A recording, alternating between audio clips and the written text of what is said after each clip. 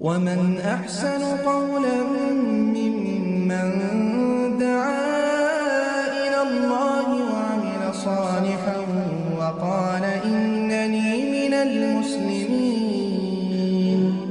ছয় নম্বর প্রশ্ন করছেন যে আসসালামু আলাইকুম শেখ ওয়ালাইকুম আসসালাম রহমতুল্লাহ সন্ন্যত সালাতে কি রসুল্লাহ কোনো নির্দিষ্ট সুরা পড়তেন এমন সহি রেওয়ায়ত আছে, যেমন সুরা কাফেরুন এখলাস অনুরূপ। যদি কোনো ব্যক্তি সন্ন্যতের এক রাকাতে একসাথে কয়েকটি সুরা পড়ে, তাহলে কি সলাৎ শুদ্ধ হবে? দুটি প্রশ্ন করেছে। একটি প্রশ্ন হচ্ছে যে সন্ন্যত সলাতে কি কোনো নির্দিষ্ট সুরা পড়তেন? রসুল্লাহ হ্যাঁ পড়তেন। ফজরের দুই রাকাত সুন্নাতে, প্রথম রাকাতে সুরায় ফাতেহার পরে কাফেরুন, দ্বিতীয় রাকাতে সুরা ফাতেহার পরে সুরায় এখলাস করল আল্লাহ হাদ এক হয়ে গেল। দুই নম্বর হচ্ছে মাগরেবের সালাতে সেই হাদিস দ্বারা প্রমাণিত। রসুল্লাহ সাল্লাম মাগরেবের সন্নাতে। মাগরেবের সন্নাতে প্রথম রাকাতে সুরায় কাফেরুন, সুরা ফাতেহার পরে আর দ্বিতীয় রাকাতে সুরায় এখলাস তৃতীয় বেতরে বেতরে প্রথম রাকাতে যদি তিন রাকাত পড়েন, প্রথম রাকাতে সুরায় আলা আর দ্বিতীয় রাকাতে সুরায় কাফেরুন, তৃতীয় রাকাতে সুরায় এখলাস জি, এগুলি সহি হাদিস দ্বারা প্রমাণিত। তবে এগুলো অজেব নাই সন্ন্যাত মুস্তাহাব। আর সন্ন্যত মুস্তাহাব মাঝে মাঝে ছাড়তে হয়, ছেড়ে দাও ভালো। কারণ না ছাড়লে যদি কেউ দেখে আর তার এলেম কম থাকে, তাহলে ভাববে যে এটা হয়তো অজেব হয়তো।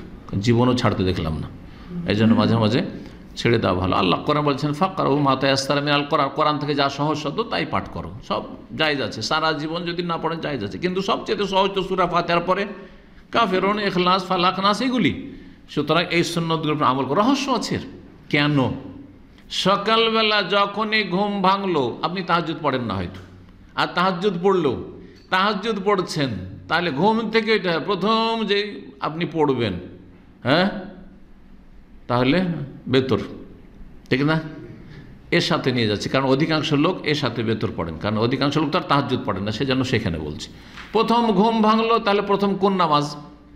ফজর নামাজ।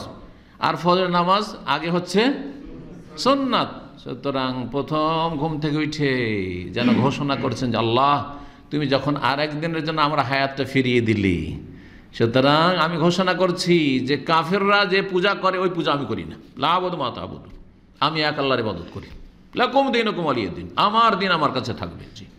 তোমরা যা পারবে তাই করো। কলহু আল্লাহ আহাদ। আল্লাহ এক ও একক জি। এইভাবে ঘোষণা। তৌহিদের ঘোষণা করে দিলেন আপনি। শিরিক থেকে মুক্ততার ঘোষণা করলেন। সুরা কাফের হচ্ছে বারাতমিনা শিরিক।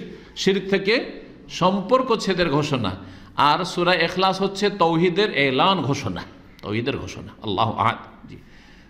সকালবেলা করে দিলেন। সন্ধ্যা হলো মাগরে হয়েছে, সূর্য ডুবেছে, দিন পার হয়েছে। তাহলে আবার ঘোষণা করেছেন আল্লাহ, দিন গেল, রাত শুরু হলো আবার ঘোষণা করছি যে কুফরির সাথে, শিরকের সাথে আমার কোনো সম্পর্ক নাই।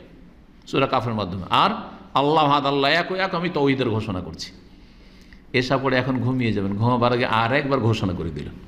আর একবার ভেতরে ঘোষণা করে দিলেন যে আমার কুফরির সাথে, শিরকের সাথে, নাস্তিকতার সাথে, মূর্তি পূজার সাথে, মাজার পূজার সাথে কোনো সম্পর্ক নেই। উরি আইহাল হাল কাফল আবুদ মাত আবুদ জি। আর আল্লাহ আহাদ, আল্লাহ এক এক এই রহস্যের কারণে এই সময়গুলিতে, এই সন্ন্যতগুলিতে এই সুরাসুরে কাফেরুন এবং এখলাস পড়া সন্ন্যত জি। তারপরে প্রশ্ন করেছেন একটি কি? যে এক রাকাতে এক রাকাতে একসাথে কয়েকটি সুরা পড়ে তাহলে কি শুদ্ধ হবে? হ্যাঁ যাই আছে। এক রাকাতে যদি মনে করেন গোটা কোরআন পড়ব, অসুবিধা কি?